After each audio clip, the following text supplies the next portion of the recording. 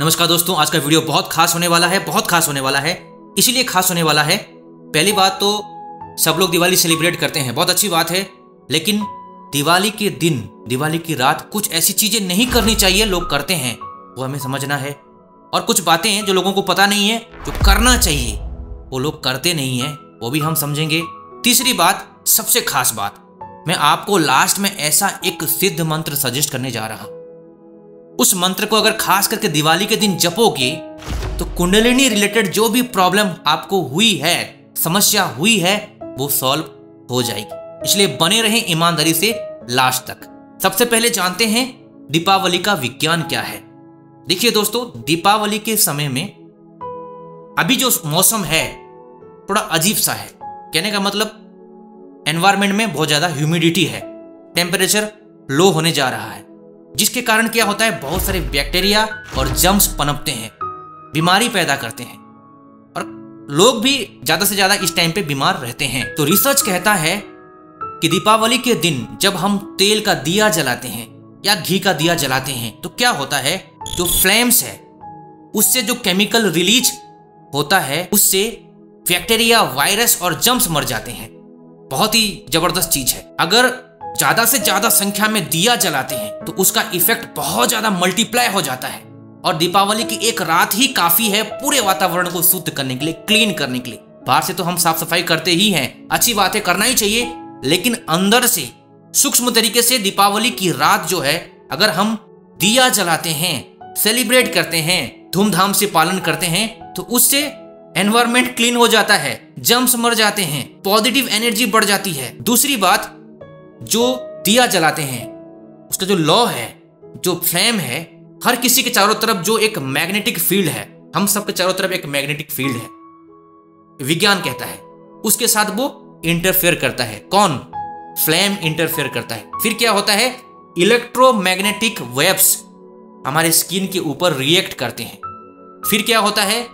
हमारे blood cells activated हो जाते हैं। फिर हमारी इम्यूनिटी इंस्टेंटली बढ़ जाती है। अचानक बढ़ जाती है। और इसी कारण से आपने अनुभव किया होगा। दिवाली के दिन खास करके रात के समय, संध्या के समय में, सबसे ज़्यादा आपको एनर्जी का अनुभव होगा। इस तरह की एनर्जी का अनुभव बाकी दिन में नहीं होता है, क्योंकि वातावरण में ही इतनी एनर्जी फैल जाती है तो आपको भी महसूस होने लग जाता है। अब एक गलती नहीं करना है, अशुद्ध आहार नहीं करना है, तामसिक आहार नहीं करना है।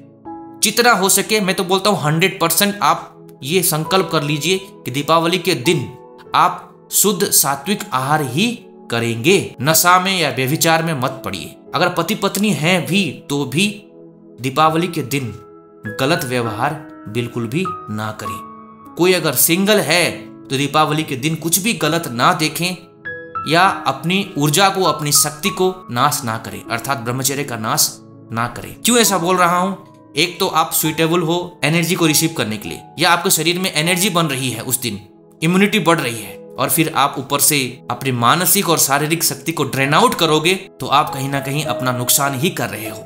सबसे इंपॉर्टेंट बात, दीपावली के दिन कॉस्मिक एनर्जी बरस रही होती है। और आपका जो शरीर है, उसके लिए पूरा सुइटेबल रहता है उस दिन, उसको रिसीव करने के लिए पॉजिटिव एनर्जी को रिसीव करने के लिए। ऐसा मौका हर बार नहीं मिलता है। इसलिए बहुत सारे ऐसे व्यापारी लोग, उनको पता नहीं है, व्यापार में उन्नति के लिए, धन संपदा बढ़ाने के लिए, खुशियाँ को बढ़ाने के लिए ऐश्वर्य को बढ़ाने के लिए, प्रगति को बढ़ाने के लिए दीपावली की रात को जागरण करते हैं। व्यापारी लोग जागरण इसलिए करते हैं कि ऐसा माना जाता है कि दीपावली की रात साक्षात धन की देवी माता लक्ष्मी विराजमान रहती है। केवल जगने से नहीं होता है। अगर आप एक काम करेंगे तो बहुत अच्छा होगा आपके लिए, सबके लिए अच्छा होगा। जो भी आपका प्रिय मंत्र है, प्रिय नाम है, किसी भी इष्ट देव को आप मानते हो, किसी भी इष्ट देवी को आप मानते हो, किसी को भी मानते हो, उनका कोई फेवरेट मंत्र जो आप जपते हो, आपको पता हो, अगर आपके पास कोई मंत्र नहीं है तो कोई भी एक नाम आप याद कर लो। अगर मिड नाइट में मिड नाइट में अगर आप जपते हो, दो घंटे तो ज़रूर जपो।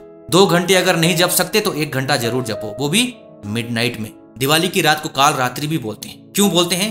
एक तो अमावस है, अंधेरा है।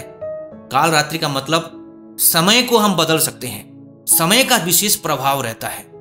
अर्थात कोई अच्छी चीज़ एक बार करेंगे, जैसे कि मंत्र जप करेंगे तो एक बार मंत्र जप से करोड़ों गुना मल्टीप्लाई हो जाता है उसका इंपैक्ट इसलिए उसको काल रात्रि बोलते हैं।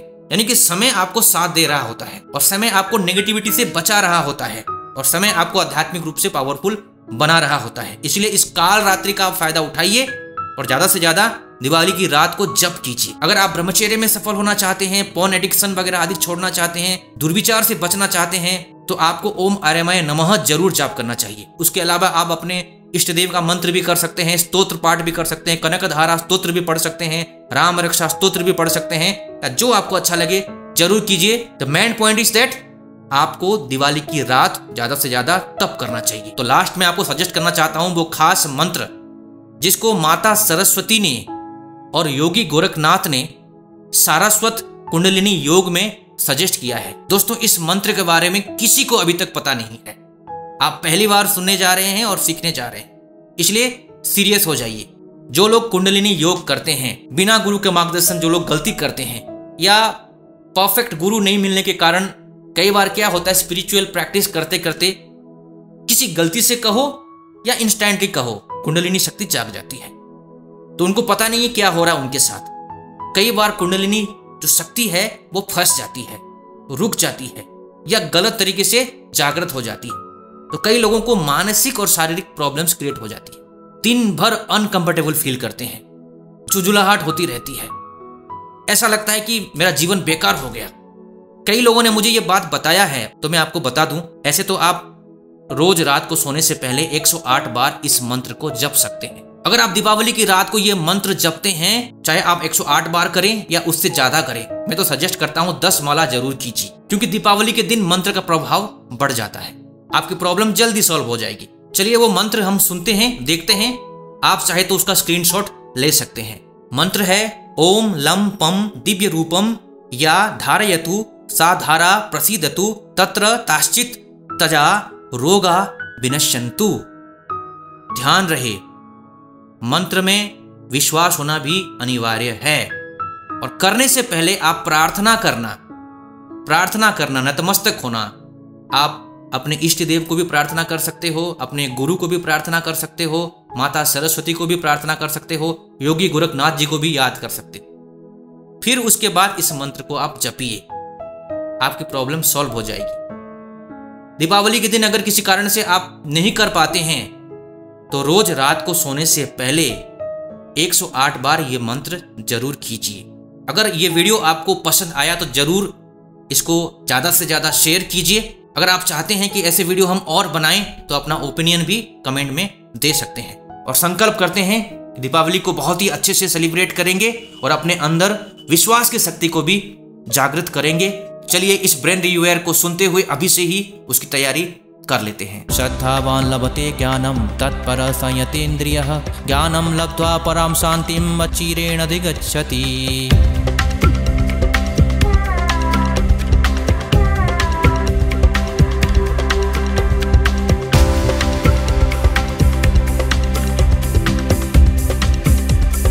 विश्वासो फलदायक विश्वासो फलदायक।